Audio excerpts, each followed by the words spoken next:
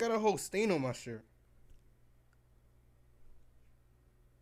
Well, sorry, I didn't see you there. What it do, YouTube? Y'all already know. It be the bro. Trippy here, and today we here with another instrumental. So for the past week, I've been trying to master Jug Rich. It is a bit challenging, but your boy is trying to really pull through with it. But for now, what I did was I hurried up and made Diego Money JITT. So we just gonna go straight into it. My set deadline to hit 700 subscribers was on the 15th of May. We actually hit it two days prior of the due date. Clap it up. And right now, as we recording this video, we're probably at 715 subscribers. So again, thank you guys so much for the support. So here we got none other than the Diego Money JITT FLP.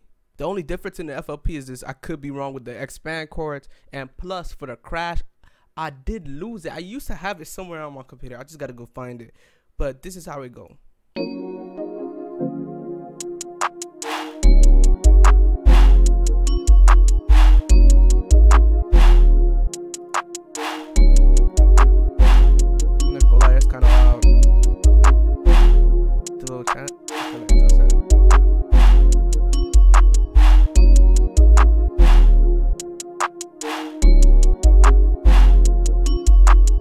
So for the first sound, we have Xpand!2, and it has the kapow pad, which is in soft pads.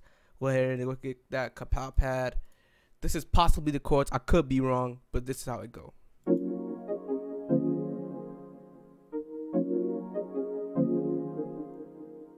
At around this part, I lowered the velocity because I hear this little sound. It sounded like the expand, so I put it in anyway. But it has a lowered velocity because it goes hun hun or whatever, or however you want to say it. For the second sound, we have I have no idea. We have the party or whatever you want to call it, and it sounds like this. Let's just turn it off right there.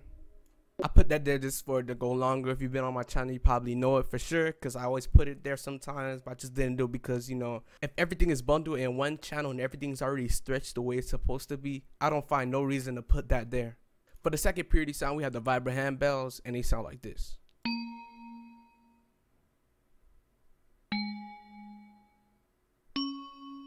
It's literally a loop of it back to back. But them bells do be hidden though. For the third purity sound, we have the synth or the synth string one, and it sounds like this.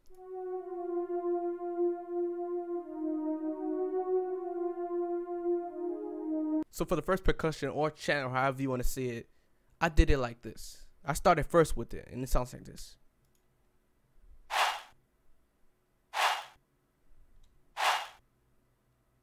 And here we got the hi-hats. It is funny that I start the hi-hats before the claps, but this is how the hi-hat goes. Sorry for saying that so fast, but here I go.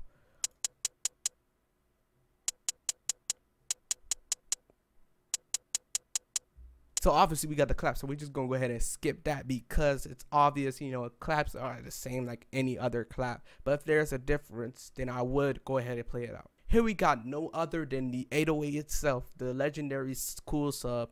Uh, sounds like this.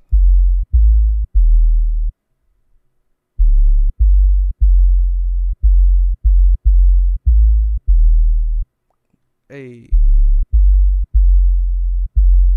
So that's basically the beat. Thank you guys so much for watching this video, man. Make sure you guys leave a like. Make sure you go ahead and subscribe. Comment down below what I should do next. Matter of fact, just hop in the core. Go ahead and go say something. And I'll see you on the next video.